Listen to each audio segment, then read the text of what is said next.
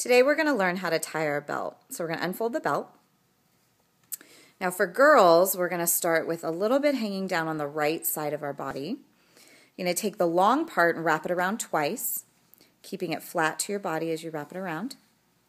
When we come back to where we started, we're going to take that long part and go underneath both. And then you'll pull it as tight as you want. Then the long part is going to go over the bottom part and you're going to pull it through like a regular knot. You'll notice that there's a fortune cookie shape facing the inside. Now, girls are wear the belt on the right, and for boys, they'll wear it on the left. So we'll show the boys' version next.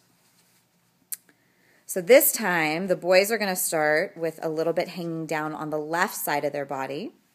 Again, wrap it around twice, keeping it flat the whole time.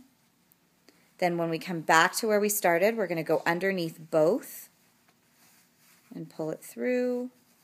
Good. And then take the top part, put it over the bottom, and again pull it through like a knot. And again, you'll see the fortune cookie this time is facing the inside again, but for boys, they'll wear it on the left side.